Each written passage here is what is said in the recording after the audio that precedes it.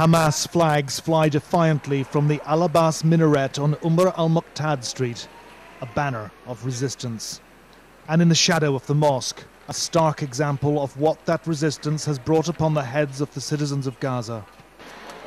At Friday prayers today, the overspill of worshippers knelt in the rubble of the police station next door, in which nine Hamas policemen died. The Imam's sermon paid tribute to the resilience of the Palestinian people and strongly criticized the Muslim world for failing to stop the onslaught.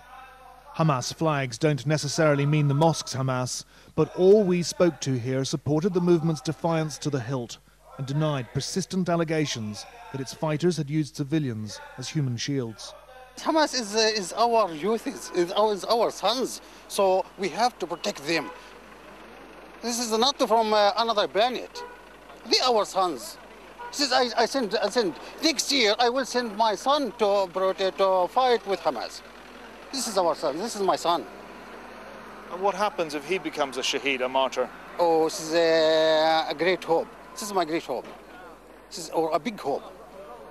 This is for me, this is a big hope to die as a martyr. Nobody come to us and said, we Hamas, we want to fire rockets from your home. No, I didn't say that. But still your house was hit? Yeah. Why? Hamas police are bruised and battered, but they're back and busy on the streets of Gaza. But just because the war is over doesn't mean the bloodletting has stopped. In fact, the war has served to reignite the embers of the Palestinian civil war. This is where the Hamas interior minister, Said Siam, was killed in an Israeli airstrike along with his son, his brother, and two other senior Hamas officials. Said Siam was in charge of 13,000 armed security men and was also the architect of the Hamas coup against its rival party Fatah 18 months ago. And that could be one reason why Hamas has accused Fatah spies of collaborating with Israel to have him taken out. Israeli intelligence needs paid informers here in Gaza. They're key to its operations. And since the war, dozens have been arrested. They will go to the court and they will have an independent uh, judge and we'll uh, wait and see. Are they shot? When the uh, judge said uh, his opinion, we will respect them. So if the judge says they should be put to death, they will be? We will respect it. I asked him to respond to accusations that Hamas had used civilians as cover. I can see in this point the Israeli leaders is lying. This is black propaganda. On the northern outskirts of Gaza City, I went to a residential neighborhood flattened by Israeli bombs. I wanted to find out why.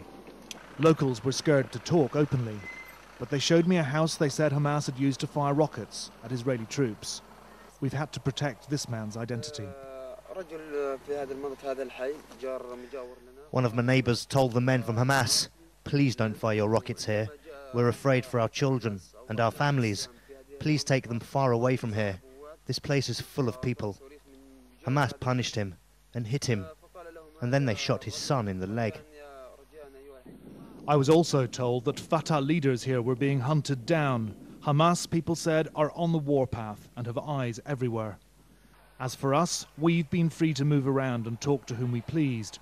Although for a while today, Hamas internal security did follow our vehicle. They disappeared when we complained to the Hamas government spokesman. The people here do not have that luxury. Jonathan Miller, Channel 4 News, Gaza.